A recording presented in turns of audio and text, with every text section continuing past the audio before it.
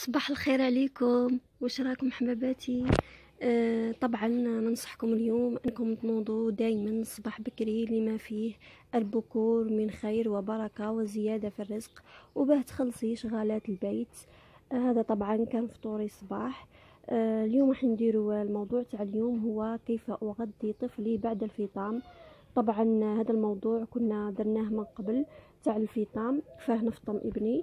آه، دوكا بعد بعد ما نفطمو آه، كيفاه نغديه وكيفاه نعوضو على هذاك الحليب اللي آه، فطمتو منه طبعا كاين أمهات يفطموا أطفالهم قبل العامين. لأسباب قادر يكون المرض قادر يكون العمل كل وحدة وعندها أسبابها الخاصة بها. نصيحتي ليها أنها ديرلو biberon تاع الحليب إذا كان كاين حليب الماعز تشربوا حليب الماعز وإذا ما كانش آه، تشربوا أي حليب عادي. ولكن الحليب غير كافي لازم تنوع له في الأغذية. كما كنت نقول لكم تنوع له في الأغذية آه، الأكل اللي فيه الفيتامينات آه مثلا الصباح يشرب على الثمانية الحليب تاعو تعطيه بعدها آه طرف خبز فيه confiture إذا كان عنده الأسنان أو إذا ما كانش عنده الأسنان تعطيه فرماجة ولا آه الأكل ترابيه كيما الخضر على العشرة لازم ديما تعطيه عصير مرة في الأسبوع لازم تعطيه الفيتامين دي اللي هو متواجد في السمك.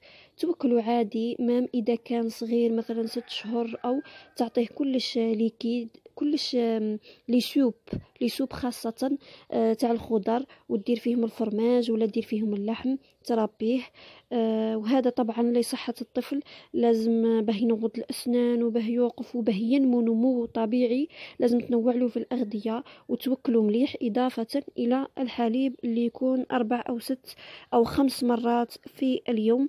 ولكن ما تبازيلوش على الحليب وحده لازم تنوع له في الأغذية كما قلنا وفي الفواكه كما الموز التفاح البرتقال. حنا رانا في فصل الشتاء والبرتقال راه متواجد.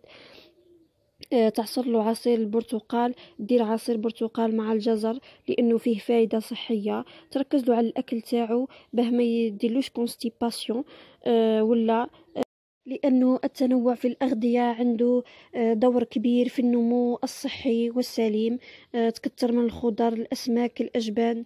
آه، ديرلو ماكلة spécial ولا ياكل معاهم عادي. إذا كانوا فالعامين ياكل عادي معاهم ولكن تزيدلو العصائر وتكترلو من المياه لأنه الماء هو الحياة.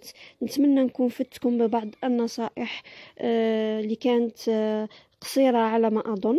آه نتمنى يعجبكم الفيديو. إذا عجبكم ديروا like إذا ما عجبكمش ديروا dislike. دعمونا في القناة فعلوا الجرس ليصلكم كل جديد. نتمنى ترافقونا لأنه الآتي أجمل ودائما مع البيت السعيد. ترافقونا يوميا.